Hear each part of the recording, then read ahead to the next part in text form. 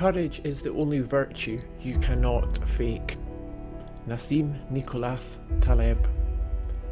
Great leaders have always displayed great courage, as exemplified by Alexei Navalny, who died in custody.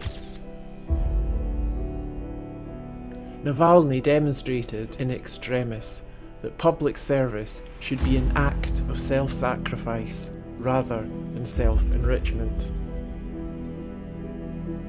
For 17 years we have foolishly put our trust in the superficial, the egotistical, the ineffectual and the unaccountable. They talk, they promise, but they do not deliver on anything. Too many so-called leaders are only there to form their own haven of financial safety.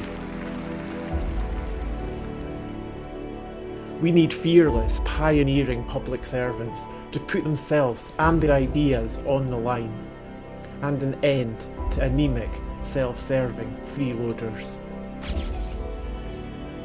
A leadership that will do instead of talk. A leadership with integrity and courage to put themselves at political risk as a result of their actions.